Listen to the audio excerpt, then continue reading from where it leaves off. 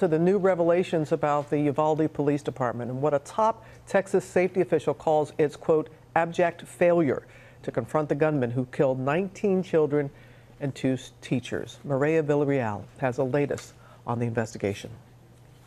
As new surveillance images emerge from inside Robb Elementary School during the deadly mass shooting, Overnight, city council members denying the school's embattled police chief, Pete Arredondo, the chance to take a leave of absence from his duties.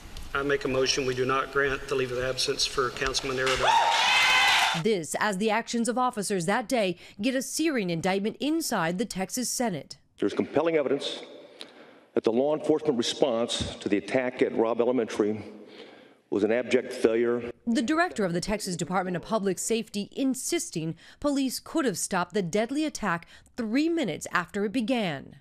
The only thing stopping a hallway of dedicated officers from entering room 111 and 112 was the on scene commander, who decided to place the lives of officers before the lives of children.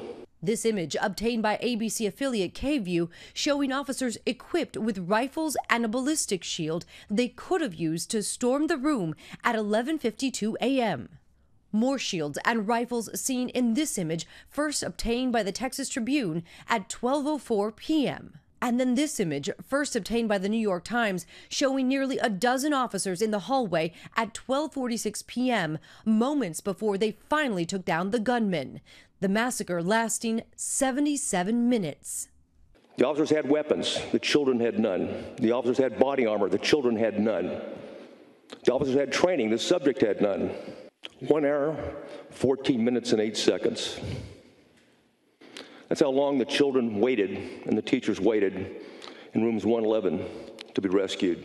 McCraw also saying officers wasted time searching for a key for a door that wasn't locked. While dozens of officers waited, kids were calling 911 from inside for over 40 minutes. Is there anybody inside of the building? Tyler is advising he is in the room full of victims, full of victims at this moment. New testimony revealing the chief had no radio to communicate with dispatchers, and police radios were not working inside the school. Arredondo spotted Tuesday after testifying in a closed hearing. What anything to say to the parents? He recently told the Texas Tribune he felt he was in an impossible situation and wanted to save as many lives as possible. But McCraw says Arredondo made terrible decisions. Uh, mistakes were made. It should have never happened that way. Families now demanding transparency. Vinny Salazar lost his 11 year old daughter, Layla. I want to know what took them so long to act. If they've got nothing to hide, then they, everything should be open to the public so that we can hear what happened. More testimony is expected today here in Austin on gun safety and on mental health, but a lot of state legislators are calling on Governor Greg Abbott to call a special session. They don't want to just talk about what happened, they want to change the laws, but the only way that can happen is if they are in session. George? Okay, Mireya, thanks.